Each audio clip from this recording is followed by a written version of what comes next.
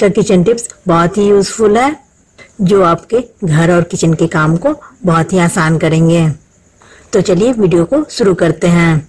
जब टूथपेस्ट खत्म हो जाता है तो इसके ट्यूब को हम फेंक देते हैं। मगर ऐसी गलती ना करें।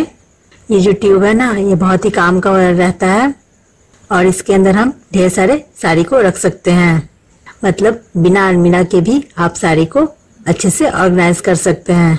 एक टूथपेस्ट के ट्यूब में रख सकते हैं।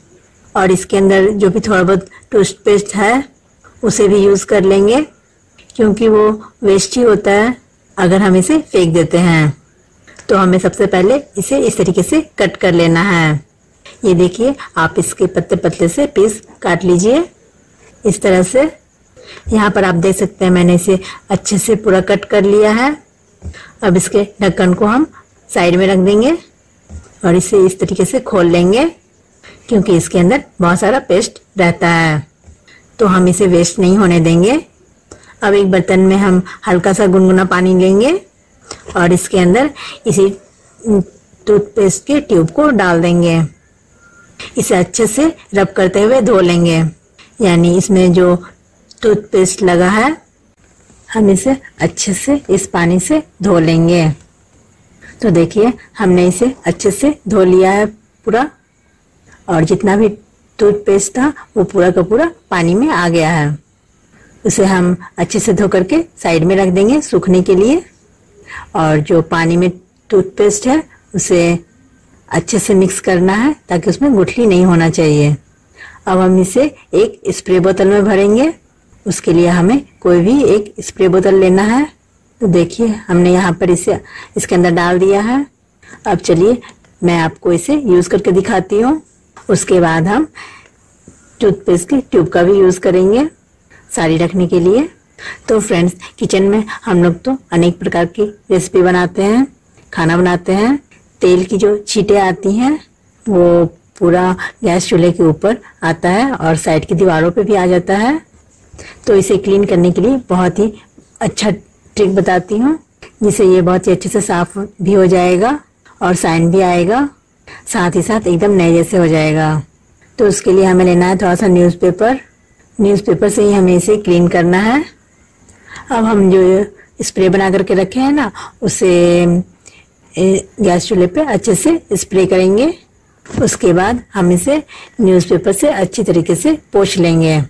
जितना भी तेल रहेगा, वो पूरा निकल जाएगा। और जो हमारा गैस चूल्हा है, वो बहुत ही अच्छे से चमकने लगेगा। ऐसे आप कितने भी अच्छे से साफ़ करें, वो साइन नहीं आता है, जो हमें चाहिए रहता है। आप एक बार इस तरीके से साफ़ करके देखिएगा, बहुत ही अच्छे से साफ़ हो जाता है। और हमें ज़्यादा पानी भी डालने की ज़रूरत नहीं है। वैसे हमने पेपर से अच्छे से पोछ लिया है, उसके बाद फिर हम इसे गीले कपड़े से भी अच्छे से पोछ लेंगे।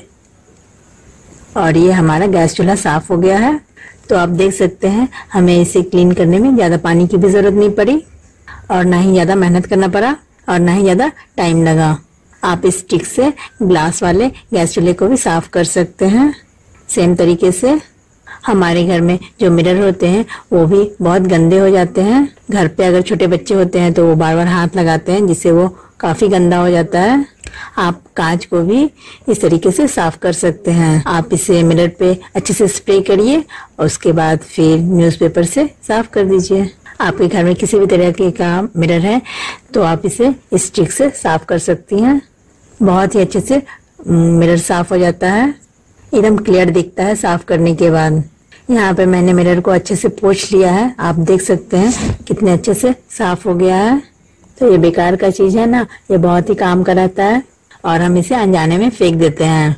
इससे हमारा बहुत सारा बचत भी हो जाता है। ये छोटी छोटी चीज़ें हम साफ़ करने के लिए कॉलिन वगैरह खरीदते हैं। उसे खरीदने की ज़रूरत नहीं है आपको अब। बस वीक में एक बार आप इसे इस तरीके से सफ़ाई करके देखिए। आपका घर हमेशा चमकते रहेगा। अब जो ये बचा हुआ है ना, हमें इसे फेंकना नहीं है। बस आप इसे रख दीजिएगा नेक्स्ट टाइम आप इसे फिर से यूज़ कर सकते हैं। या फिर आप इसे किचन के सामान को भी साफ़ कर सकती हैं। जैसे कि आपके घर में अवन है या फिर मिक्सर ग्राइंडर है, उसे भी आप इस ट्रिक से क्लीन कर सकती हैं। अब इसे हम रखेंगे साइड में और अब टूथपेस्ट के इस ट्यूब का यूज़ करेंगे साड़ी और कपड़े रखने के लिए। तो आप देख सकते हैं यहाँ पर ये बहुत ही अच्छे से सूख चुका है। इसमें बिल्कुल भी पानी नहीं है। अब हम क्या करेंगे ना, इसको इस तरीके से पलट लेंगे। यानी इसके अंदर के साइड को बाहर करेंगे और बाहर के साइड को अंदर। आप सारे रिंग को इस तरीके से पलट करके यूज़ करें तो वो ज़्यादा अच्छा लगेगा देखने में। और ये पता भी नहीं चलेगा आपने इसे कैसे बनाया है, किस चीज़ से बनाया है। तो देखिए मैंने इसे पलट लिया है। तो चलिए अब हम इसे यूज़ कर लेते हैं। यहाँ पर एक हुक लगा हुआ है। इसमें अगर हम कपड़े को हैंग करते हैं, बस एक हैंगर कपड़ा ही इसमें आएगा अगर हम इसमें कपड़ा हैंग करते हैं तो। मगर हमें इसमें कई सारे हैंगर को हैंग करना है। आप उसके लिए क्या करें?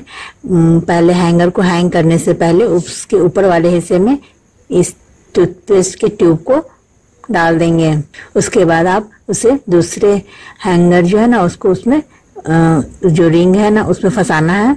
लेकिन ध्यान रखना है आपको, दूसरे हैंगर में भी आपको पहले ही रिंग को डाल देना है।